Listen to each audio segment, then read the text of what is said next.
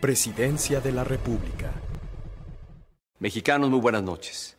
Me dirijo a ustedes con la emoción, pero sobre todo con la firme convicción de que el Gobierno de la República hoy ha tomado una decisión trascendental para acelerar el desarrollo de nuestro país. Este día envía al Senado de la República la iniciativa de reforma energética. Esta reforma representa una de las más grandes oportunidades para México de los últimos años. Si aprovechamos esta gran oportunidad, se crearán cientos de miles de nuevos empleos y con mejores salarios. Si llevamos a cabo esta reforma, bajará el precio de la luz y del gas.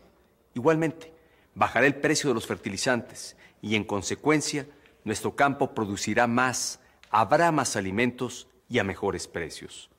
Hace 75 años, precisamente en este salón del Palacio Nacional, el presidente Lázaro Cárdenas llevó a cabo la expropiación petrolera.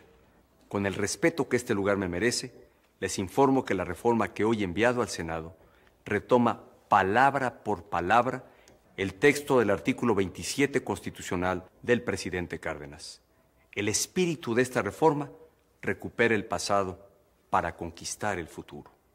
Con la reforma que propongo, el petróleo y los demás hidrocarburos seguirán siendo de los mexicanos. Los mexicanos seguiremos siendo los únicos dueños de la renta petrolera. Con esta reforma, Pemex se mantiene como una empresa 100% propiedad de la nación. Pemex no se vende ni se privatiza. Pemex se fortalece y moderniza. En su momento, el presidente Lázaro Cárdenas afirmó que el artículo 27 no implicaba que la nación abandonara la posibilidad de admitir la colaboración de la iniciativa privada. Congruente con esa visión, la reforma energética que he presentado permitirá al Estado mexicano contratar a particulares cuando así convenga al interés nacional y con ello generar energía más barata para todas las familias mexicanas. El Pacto por México ha generado el clima positivo de diálogo, entendimiento y acuerdo político que esperaban los mexicanos. Por ello, confío que el debate de esta iniciativa de reforma al interior del Congreso de la Unión se centrará en cómo sí transformar a México, en cómo sí modernizar a nuestro sector energético, en cómo sí cambiar lo que hoy nos ha impedido avanzar como país. Es tiempo de aprovechar al máximo los recursos energéticos del país.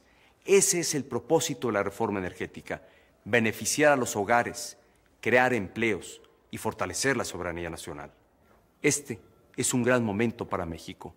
Es tiempo de ir hacia adelante, de aprovechar la gran oportunidad que tenemos y de iniciar juntos una nueva y mejor etapa de nuestra historia. Muchas gracias. Presidencia de la República.